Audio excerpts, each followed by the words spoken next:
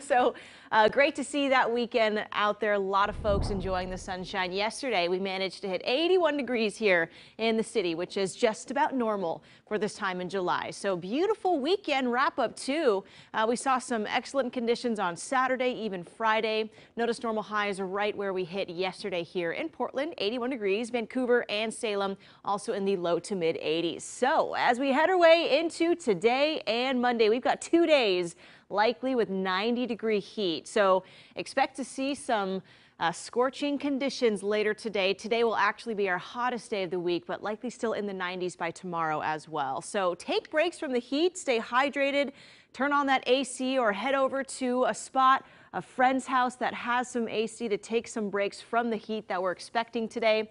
Uh, again, notice uh, this beautiful sunrise as we start. We've got high pressure here in place, and that is what is giving us uh, a clear start here and a nice sunrise. Notice temperatures now in the mid 60s. We may drop to the low 60s to upper 60s across the morning. I think we're going to warm here fairly quickly as we head our way into uh, the morning time again. We're going to stay sunny and that's going to allow that heat to really pick up. Now as we head into our evening, there may be some high clouds that roll in. So turning a little cloudier just around dinner time, but much of today we are sunny going into it. Very low cloud cover and then going into our overnight hours again, we're back under uh, beautiful conditions, a clear night tonight. So there's your view out in the gorge, the Dalles as we start under a nice sunrise there over the river. Just beautiful. Mid 90s today around the valley, even the coast expecting to see some heat.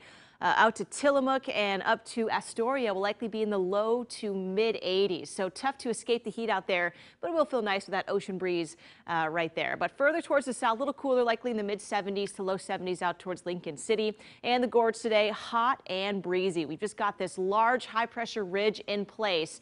And the good news is this ridge and this pattern here is pretty much staying for a good while here. As we head towards the middle parts of the week, a little cooler by Wednesday, we do have these troughs of low pressure, but they're very much to the north. So I do see, again, some very uh, mild conditions here or summery weather sticking around for a good chunk of days. Take a look at our forecast trend. This is just one model, so this will change, but notice how this model keeps temperatures mostly in the upper 70s to low to mid 80s for a prolonged time here.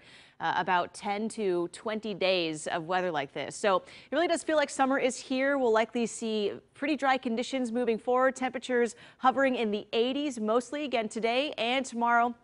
We're likely in the mid to low 90s, so some heat to watch out for. Do be careful in the sun. Wear that sunscreen. Drink plenty of water.